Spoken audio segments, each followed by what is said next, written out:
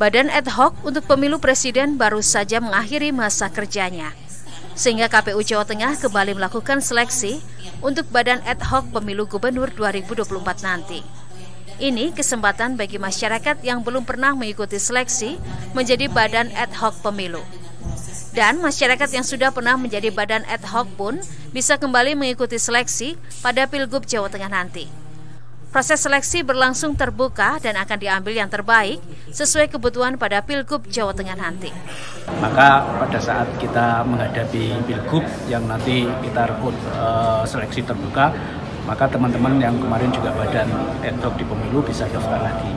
Dan ini kesempatan juga bagi teman-teman yang belum pernah bergabung menjadi badan itu kita, nanti bisa juga daftar. Prinsipnya dengan proses seleksi kali ini KPU terbuka, tentu saja nanti kita akan memilih yang terbaik yang memang uh, menjadi kebutuhan kita di dalam pelaksanaan pilgub yang akan datang. Syaratnya sama dengan yang sudah-sudah, beberapa di antaranya yakni usia minimal 17 tahun, ijazah minimal SLTA, reputasi yang baik dalam penyelenggaraan pemilu, atau memiliki pengetahuan yang dibutuhkan dalam pemilu. Nantinya mereka tak hanya bertugas dalam pilgub saja, namun juga pemilihan bupati serta pemilihan wali kota yang ada di sejumlah wilayah di Jawa Tengah.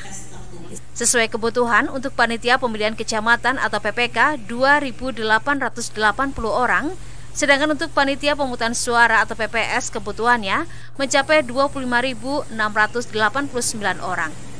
Pengumuman seleksi PPK akan dilakukan pada 23 hingga 27 April, sedangkan PPS pada tanggal 2 hingga 6 Mei 2024. Prahyuda Febrianto, Kompas TV, Semarang, Jawa Tengah.